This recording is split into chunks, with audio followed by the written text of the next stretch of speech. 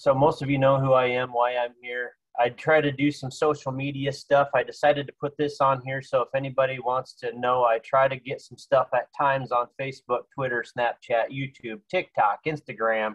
I don't do them all every day. I don't do them all every week. Sometimes I do two and forget the other four. So you just have to bear with me on that. You get the luck of the draw at times. Whichever one you're a part of, great. If you're not, that's your choice too. There's some different things that I try to post some relevant pieces on as we get through. So I start out, I'm going to start this out by asking this question How are we scouting fields today? A lot of times we get busy, we just decide we're going to get in the old truck, go take a drive in the afternoon and see how things look. But I want to challenge everybody that driving down the road 55 miles an hour is not going to catch what's going on in some of these fields right now. So we need to be quite proactive and get ourselves out in the field, get your feet on the ground, and uh, go check some things out. This is not a current picture from 2022, but it was taken in uh, western Minnesota a handful of years ago. But we have some winter kill issues in this field, and what happened is we had snow drift over the fence from on, on the south side of the fence line. We got some warm weather. Snow drift started to melt. We refroze. We ponded under some ice and then we had some winter kill issues, and the rest of the field seemed to be okay. But just so you know, those are some of the things that you might see in some different fields across the country at different times. But that was under ice for a while, and we had a winter kill scenario. As you drive down the road and you look out across the field, you might see some some plants that resemble this, where you have a six-inch plant to the left off to the right, you get something that's, uh, you know, maybe three inches tall. And then a little above that, you get this little guy that's just barely getting out of dormancy, but things are turning green. So as you drive by or you might walk the field, first glance, you think, man, things look pretty good. They're okay. But what we really need to do is get out in that field, maybe take some time, get your stand, your ring out, dig yourself one square foot of material, well, in this particular example, I took the old plant to the left and the plant to the right, and I dug those, and this is what the stems or the, the crowns look like underneath the ground. On the right, you're going to see something that resembles a, a typical winter kill view or a look. That goofy yellow color, tan, not bright white material is basically dead crown material. On the left, you have a very healthy crown. It's very woody, If you take your thumbnail and try to penetrate that, it, it's firm, it has good turgid pressure, as they would say. So that's a healthy crown. Now, let's back up two more slides again and say, all right, when we walked that field, we saw a big healthy plant to the left and a crappy one to the right. That is these two exact plants. That was taken the same day, same two plants. So even though you see a green top on that little bitty plant that's kind of behind and not growing well, it's basically dead. You know, we'll get into these scenarios and people might ask, well, let's say, well, Jeff, what do we do to recover from this? The only recovery for the plant on the right is replanted or a new stand started. That's some of those scenarios where there's there's no recovery. If it's that far along, it's dead. So we can't recover from that.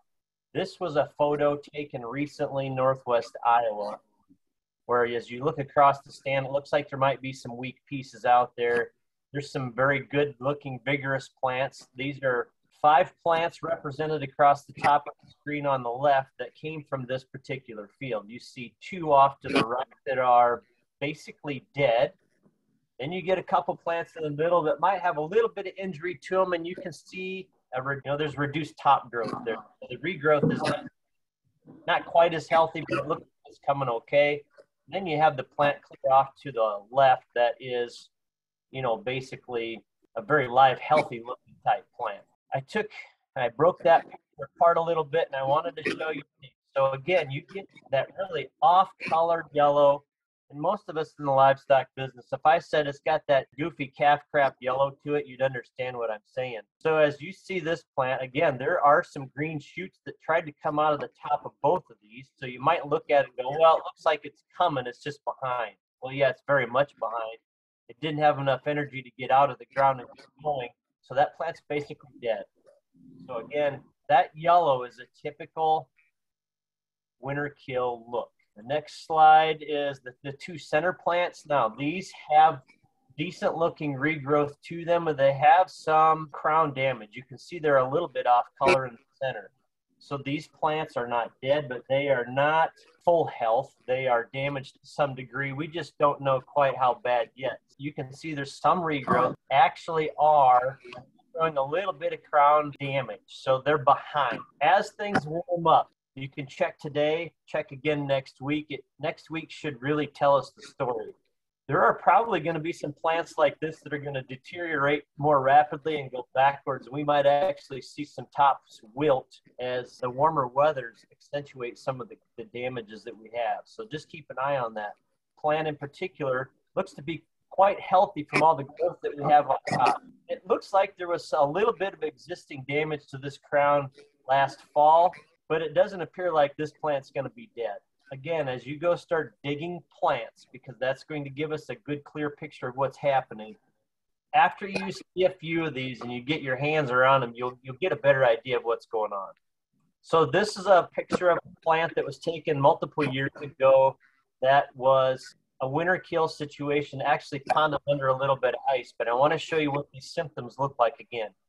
So if you look at the center of this crown, you see this dark brown, or we'll call it milk chocolate color. That rusty milk chocolate color was a pre-existing damage called crown rot. That's going to be very common in almost all alfalfa plants at some point in time. But this other rusty colored, pukey calf crap yellow around it that extends down through that tap, but is basically the winter kill injury symptom, or what we can tell that that's a kill damage. The top of this plant tried to turn green, but as it started to warm up, it ran out of energy and kind of figured out that it wasn't healthy. So this one will not recover. And that's what some of these winter kill things are going to look like. And as you pull that root out, it's going to be really rubbery. It's not going to have good turgid pressure, it's not going to feel woody like a really healthy plant would. So those are some of the ways we discover if that plant is healthy or not. More examples. Picture to the left had a little bit of crown rot last year, little damage trying to grow a green shoot out the top, but you can see that it's a fairly rubbery plant. We have all this other dead material around the edges. This is going to basically wither away and probably will not even make it through first cutting. Plant on the right again, dark chocolate down the center. This one was in pretty tough shape in the fall. Whatever the conditions were this year killed that particular plant. But again, it has enough carbohydrate to start to turn green tissue but this plant will be dead uh, by the time we hit first cuttings. It had crown rot, now it has winter kill, and you have to view those things. The nice bright white material is viewed as the fuel tank, and if you have any brown material, that limits how much energy that plant can actually store.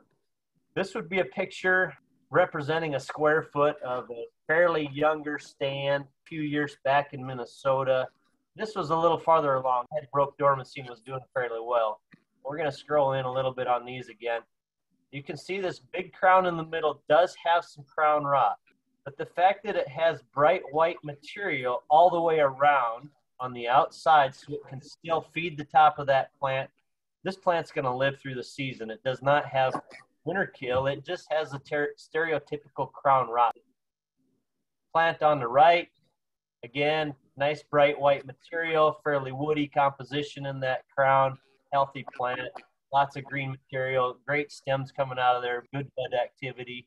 The other two plants have a little bit of crown damage, but not winter kill. Again, they're going to make it through the season. As we get into assessing crowns, these are stock photos taken from a bunch of material that universities and extension people use. We have them in some of our management material as well. You're digging plants and you tear it open and there's basically no damage at all. We're going to score that plant as a zero. When we start to get a little more discoloration, and as you see this rating number two, as that crown rot starts to come down further into the stem or into the crown, and that's going to be rated as a number two. You get a little bit more significant damage. They're calling that a three. As we get more, we call that a four, and then a five is basically dead. It just doesn't know it yet. There's hardly any good white material around the edge of that root that's actually going to feed these stems over time. So that's basically a dead plant. We've went out in the field. We've dug a, a square foot multiple times. We've pulled the plants apart. We're going to write their little health score down on a sheet of paper. And if you average three, three over multiple places in the field, we would suggest that that field will make it this year. There will probably be a yield reduction.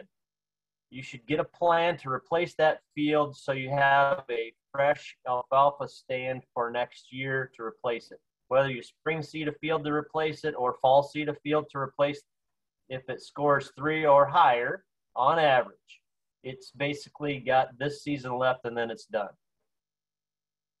So that's a little bit about the rating scores, what some of those pieces look like, and we're going to revisit it one more time. Off to the left, that plant has some crown rot, pre-existing damage, going to be okay this year. It has good bud activity and growing. It can feed itself. The rest of the plants in that picture are nice and healthy.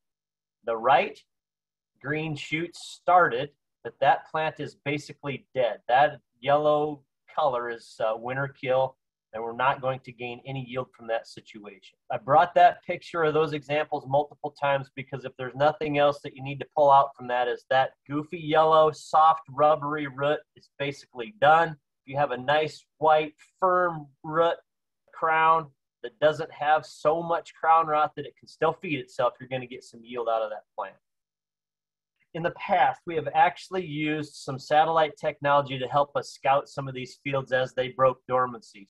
This is a 135 acre field from actually eastern South Dakota a number of years ago. And out of 135 acres, we went and ground truth these colors. So the first three color spectrums that had green in it, those actually looked like plants that were going to live and make it by using this program and this scale, it told us that you know about 30 acres out of 135 was going to make it and be productive. We could kind of tell from the road that it didn't look good, but we ground truthed some spots. We were able to basically scout that whole township, that area where that was affected by using satellite imagery and decide what we needed to keep and what needed rotated out.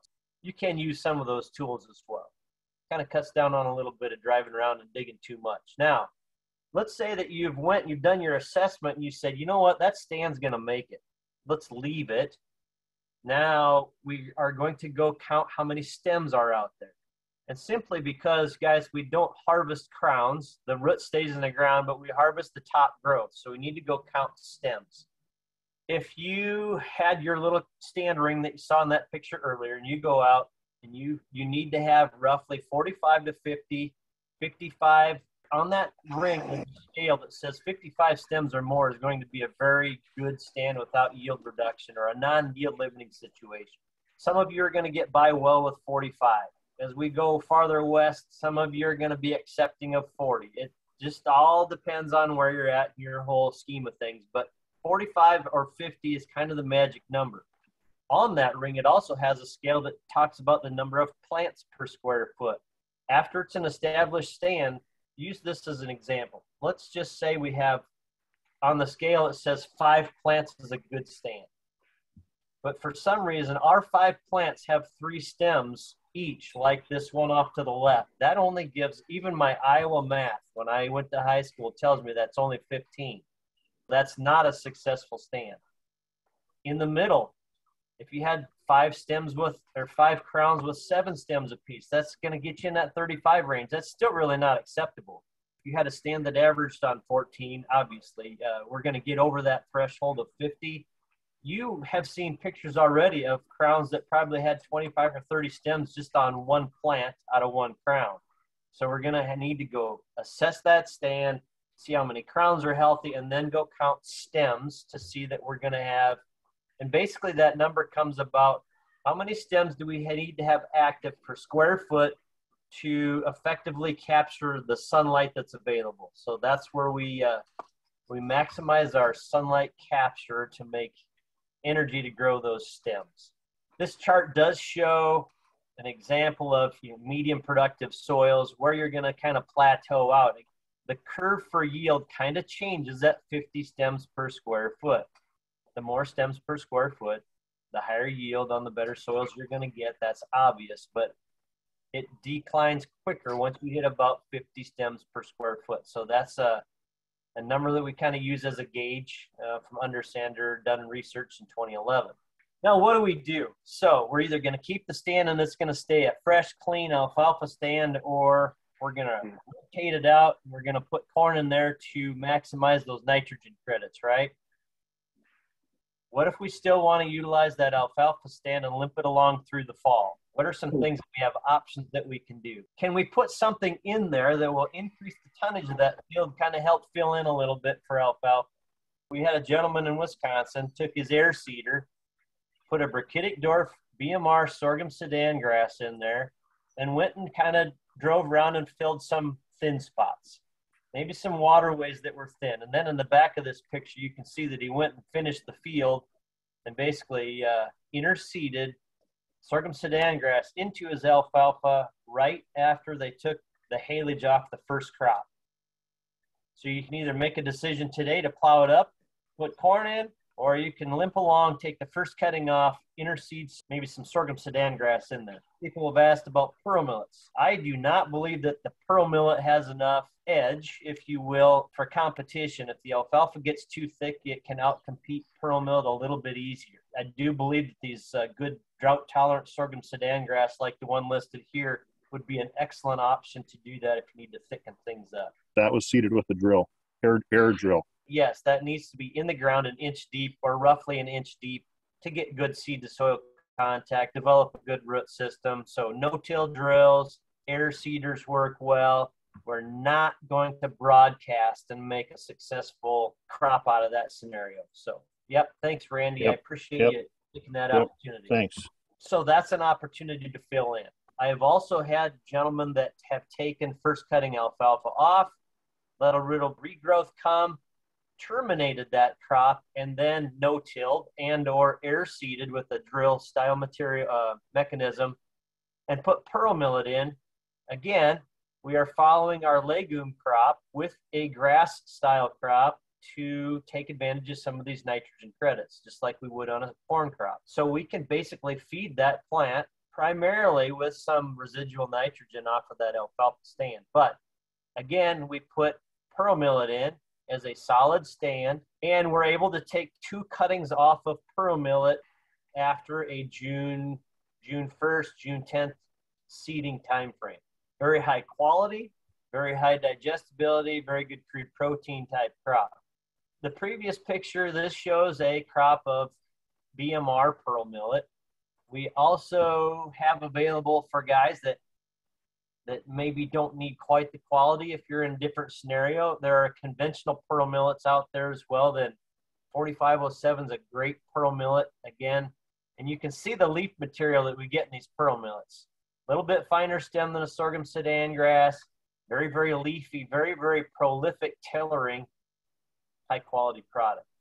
I do have if anybody wants to do a screenshot yourself or I can send this to anybody that needs information later, but we do have some forage quality on both of those photos that I just showed you from Pearl Millets. I can provide some data on BMR sorghum Sudan grasses as well. That kind of sums up a little bit of what I wanted to show you all today about assessing the alfalfa stand. If we do have a weak stand, what can we do to address that today to continue to raise forage through these hot, dry months of the year. If you do get some of these other warm season annuals planted in an alfalfa stand, or you've terminated alfalfa and you want to make haylage or baleage out of these other crops, and you're using triple mowers or something of the like to try to put them down, a pearl millet crop needs to be cut somewhere between five and six inch cut height the growing point does start to migrate up in that stem. And if we cut it too short, we will end up with basically a second cutting stand failure. Um, so cutting height is very important and just wheel traffic in general. These are annual plants. We drive on them, we break them off, we get them cut too short. We can have regrowth issues. And that's generally if somebody has a complaint We've got too many wheel tracks. We've done it on a wet day. We've cut it too short. And we reduce our second cut yields to the point where you, you kind of look at it and go, man, I wish that were better. Keep a few of those things in mind. If you are using some of that mer- those mergers, merging at an angle, so you might either want to cut at an angle and merge straight, or cut straight and merge at a little bit of an angle so it feeds into that merger better. Obviously, you're not going to do it perpendicular, but if you go at a little bit of an angle, you can get that to feed versus long material trying to go straight in. So just a, a little bit of a tip or a trick that I've had some guys tell me works quite a little bit better. It enhances the experience. If you're going to go with a sorghum Sudan, are there any restrictions on cut height for that pearl millet? As we talked about the actual crop that was used, in this example, it was a brachytic dwarf, has shorter internode spaces. I would tell you that you generally get by with about a three, roughly about a three inch cut on a brachytic dwarf BMR. Because those bottom two nodes are stacked so close to the soil surface, the general recommendation is to leave two nodes. If you, for some reason, are a guy that gets some I'm going to use this term loosely, but the cheap stuff, and you have a conventional or a BMR that's not brachytic or not brachytic dwarf, those bottom internodes could be four, five, six inches apart. You either take a chance and you cut it a little shorter than you'd like, or you need to get your header, your cutter height above the second node to enhance your regrowth experience. So that's a very good question. I'm glad you asked that. The answer is two nodes above the ground gives you the best regrowth. I did a study at my place a couple years ago where I actually took 27 varieties. I cut everything off at about eight inches, and then I went back with a, a 60 inch, my lawnmower technically. I cut everything at two inches. I moved over, I cut them at four inches. I moved over, I cut them at six inches. Technically, things didn't get any better or worse once I got to a four inch cut height. Two inches was a little bit too short. Four inches was just right.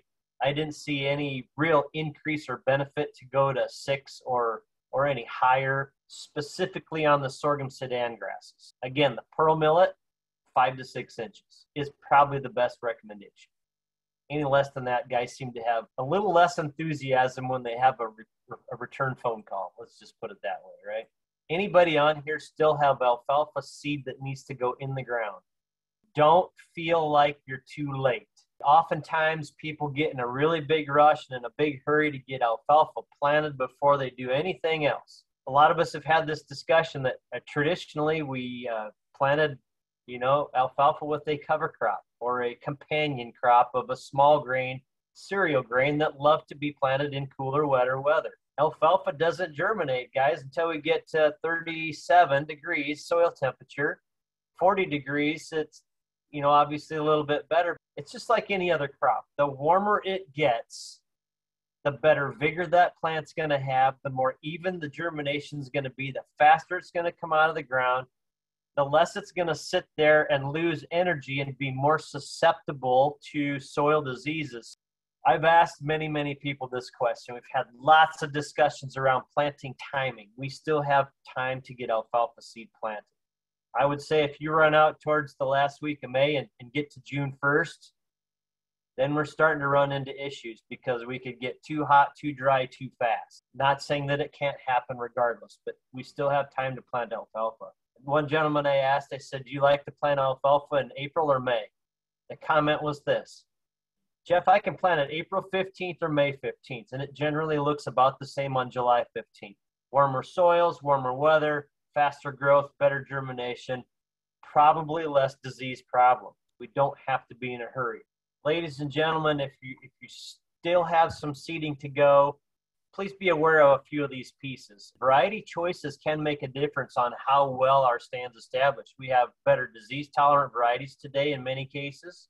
Residual herbicide. I mean, we could probably talk about this till we're blue in the face and, and almost get mad but we have an increase. Some of us on the call have probably known nothing but Roundup Ready. Others of us on the call remember a lot of residual herbicide. Then we had two decades of glyphosate tolerance. Now we're back to more residual herbicides to control some of these tough weeds. You might be in season, middle of the summer, trying to do something in a soybean crop. You need to be aware of what you applied, when you applied it, what the weather conditions are like. We have a document with basically what equate to two pages of herbicides that could be used today that can damage your alfalfa stand. And to the point where it might not kill it, but it has severely damaged the root system and the plant health and its yield potential. And you might have a live stand, but it's only going to be so productive. Keep those residual herbicides in mind. If you think there's a question, please look back in the records. It's not worth taking a chance. We don't like to do replants for recreational farming those are some pieces. Um, seed to soil contact is always a big topic for us. Make sure we get a firm seed bed before the seed goes in the ground. I know I had a, a call again the other day where a guy says, "Hey, we planted our alfalfa, we didn't get the we didn't get it packed, and it rained. So can we still go back out there?" My first question was, "Why didn't you firm up that alfalfa stand or that field before you seeded the alfalfa?"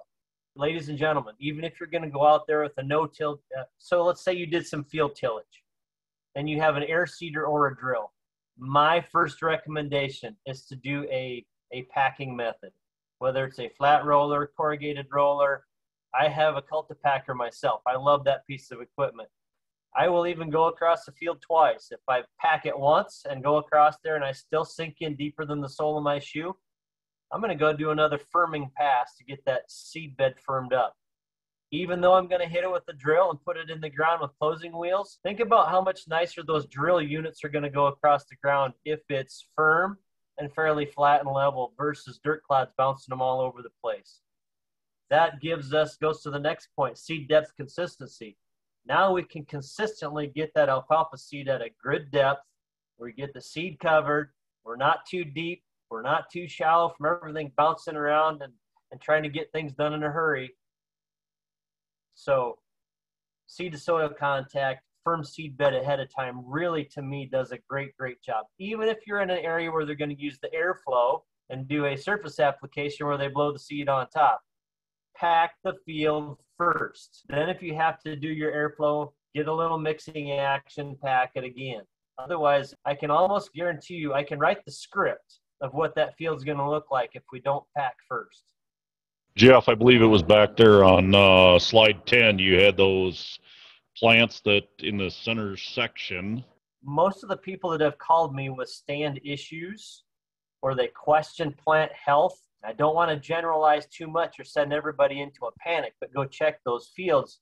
They would have been harvested later in the falls. Has called me so far with concerns, took that late September, October cutting.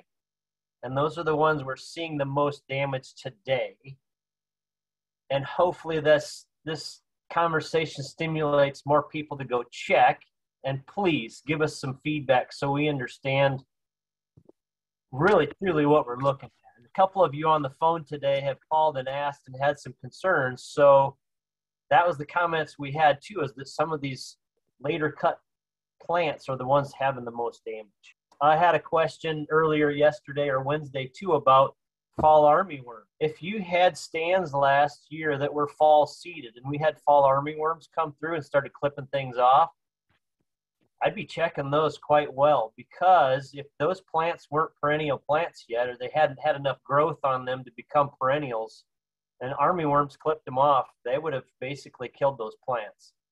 So those would be fields I would scout pretty extensively.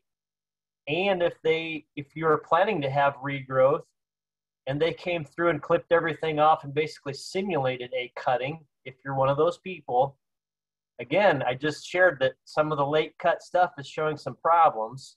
So if you had one of those issues where armyworms came through late and clipped it off be no different than a than a swather going through and harvesting it as well. So check those fields. Be diligent get out of the truck take your shovel along and jeff did, did you want to mention weevil just quickly how, how bad the weevil are yeah, so the weevils, guys. Weevils this year at, at, my house, I've sprayed weevils twice. And I'm down by Kansas City, Missouri right now. It's just a matter of when and how bad. Some of you are going to have this is a generalization, but I think it's very true. Where you had a lot of stubble out there, or left that regrowth and you've had weevils in the past, the weevils lay their eggs in those hollow stems of old dead plants or in, in alfalfa stem. So generally, the fields that were cut a little bit shorter later we've kind of removed some more of that material. So the, the severity of weevil seems to be a little bit less because we've taken some of that, that stem material and maybe some eggs and put them in a pile somewhere. Generally, Interstate 90 and south, we have to make an application prior to first cut. Now, this is generalization. Understand that. At my place in Kansas City, Missouri, I've sprayed twice already. They're pretty bad. Coming north, it will happen. At about 275 degree growing degree units, you will have the first flush. Those are the eggs that were laid in the fall. At about that same point, the adults will emerge and they're going to start laying eggs again. The second flush of eggs will come about 400 growing degree units, somewhere between 400 to 500 GDUs. So at times it feels like we have this extended window of weevil pressure that takes us all the way through that second crop or second cutting, and that's why. So please be diligent, scout fields, look for feeding.